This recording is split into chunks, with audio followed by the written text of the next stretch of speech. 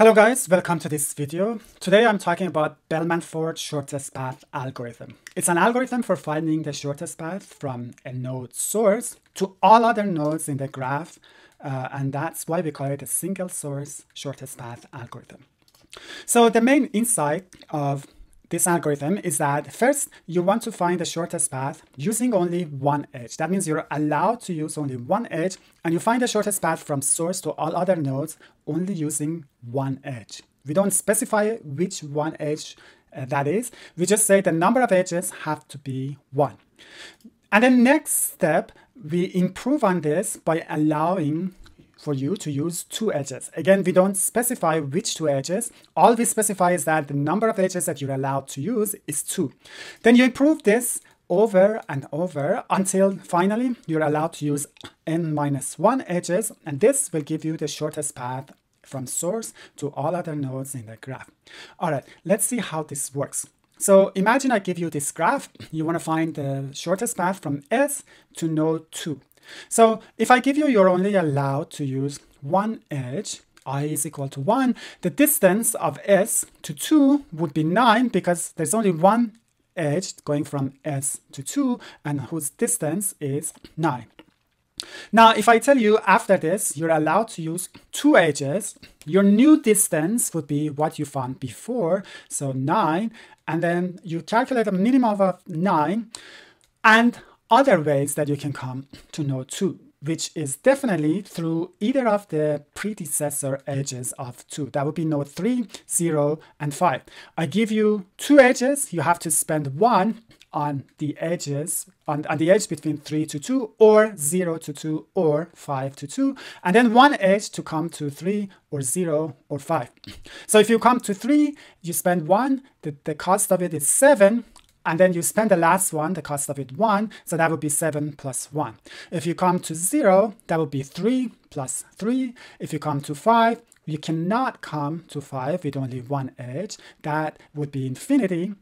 And then from 5 to 2 would be 1. Now the minimum value of all these values would be 6. Now, next step, I give you three edges. You say the minimum value would be what I found before. Now you have three edges. So I can spend two edge to come to three, or two edge to come to zero, or two edge to come to five, and then the last edge from 3 to 2, from 0 to 2, or 5 to 2. So spending 2 edge to come to node 3 would be from this path, 3 plus 1, which is 4. So I put 4 here, and then the last edge would be 1, which is here. For node 0, there's not really any change for having two edges because there's no path of size 2 coming to 0. And same thing for 5, there's no, you can't come to 5 with two hops. Therefore, it's still infinity plus 1. The, the minimum value of this would be 5. Next step, I give you four edges. You spend three to come one of these predecessor edges. For node 3, and 0, this wouldn't make any difference. So we put 5 and 6, what they had before. But for node 5, I can spend 1, 2, and 3 edges to come to 5. That would be uh, cost of 3. And then the last one would be 1 with cost of 1. So the total would be 4. And that, ladies and gentlemen, is your shortest distance from S to 2. Now let's see what would be the general case of this.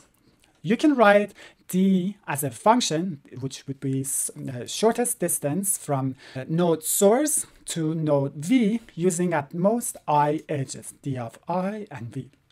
And we want to find out using the i minus 1 and v, which is this path that I'm showing here, i minus 1 and v, can we get to d, i, and v? And basically write this as a recursive function when at each step uh, we get the i minus 1 and v, and then we find the i and v. All right, so now if I give you one edge more, you have to spend i minus 1 edges to go to one of the incoming edges, sorry, incoming nodes or predecessor nodes of node v, and then spend the last edge on the, the, the, edge between that predecessor and v. So that would be i minus 1 plus 1. Finally, we have spent i edges. So you either go from this path or go from this path or go from this path. And then finally, we find the minimum value of all these possible edges, possible paths, and that would be our minimum shortest path using i edges. So let's write this as a recursive function. d of i and v is the minimum of what we found before for v using i minus 1. And then uh, the minimum of this value and coming to one of the predecessors using i minus 1 plus the cost of going from the predecessor to v, this one. What are our base cases? If i is equal to 0, that means you're not allowed to use any edges. If v and s are the same, that means going from s to itself, obviously the distance is 0. But if you're not allowed to use any edges and v and s are not equal, we set the shortest path to infinity. And that's it. That's all that is to this recursive function for Bellman-Ford shortest distance. Now, this is a translation, exact translation of this formula in C++. You can write this in your own favorite language. I'm not going through the details of this implementation, but I put some links to my GitHub in case you guys want to download and play with it. But we, let's focus on one of these predecessor nodes in this case u1. So for find for going from u1 to this node, I calculated di minus 1 and u1. But I do the same thing for any other node uh, who is a successor of u1. So for all these nodes, I calculate this di minus 1 and u over and over and over. This is a lot of recalculations in my recursive uh, relationship. Let's see how we can improve on this. Uh, this requires a really interesting uh, uh, realization, which is the base for dynamic programming, which is what if I calculate uh, the value of this function once and then every time that there's a request for recalculating it, I use a table and I use the value. If I had it, I just return it from my table rather than do a recursive function call and spend a lot of time to recalculate this again. So this 2D table for i and v, i changes from 0 to n minus 1. I leave you, uh, I leave this as a, as a homework, why we only need to change i from 0 to n minus 1. And then v only ch changes for all the nodes in the graph uh, if you have n nodes in the graph, the table would be n by n, uh, and n being the size of the nodes in your graph. This is the implementation uh, using a two-dimensional table. It's exactly a translation that what we just talked about. I'm not going through the details. Details. Uh, the, there's a link in the description that you can download and play with it. Uh, but let's focus on this part of the code. di and v uh, always depends on the i minus 1 and v or the i minus 1 of the incoming or predecessor nodes of v. So let's see if this is the case, can we have another realization and say instead of a two-dimensional table, because I'm always uh, only using the previous row to get to the new row, what if I just have one row and keep rewriting it rather than having multiple rows?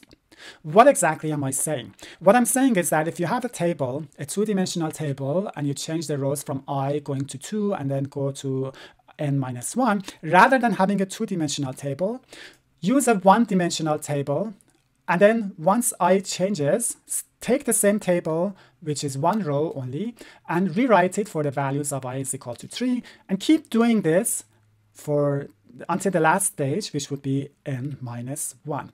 This way, we magically move from a two-dimensional table to one-dimensional table. And this was possible because every stage only was depending on the previous stage, and then at the end, you only need the last row. What you calculated before is not useful for you at the end. And this is the translation of 2D to 1D. Again, it's exactly what we just talked about. Uh, I'm not go going through the details. You can either use my code or look at the Wikipedia pseudocode, which is basically exactly the same. I just want to focus on this part of the code where there is a for loop that, like I said, uh, changes from uh, changes i, the number of edges you're allowed to use, from 1 to n minus 1. And then inside this, we go through the incoming edges of v. If you uh, pay attention here in this for loop, we are we are iterating all the edges of the graph and we iterate each edge only once. So the runtime of this uh, part of the code would be O of m, m being the number of edges in the graph. Now you have the outer, outer, outer loop, which is changing from i to 1 n times. So the total runtime would be n by m. And that's the runtime for Bellman-Ford algorithm. So that's it, guys. This is a single source shortest path algorithm. The time complexity is n by n. We didn't talk about negative edges or negative cycles. I leave this to you as a homework assignment, how uh, Bellman-Ford can handle negative edges and how we can make a minor change to also be able to report negative cycles. This algorithm is named after Bellman and Ford, Fun fact about Bellman, he was a professor of computer science at USC, which is also the university that I took my PhD from years after him. Thank you very much, guys. I hope you liked this video, and I see you in the next ones.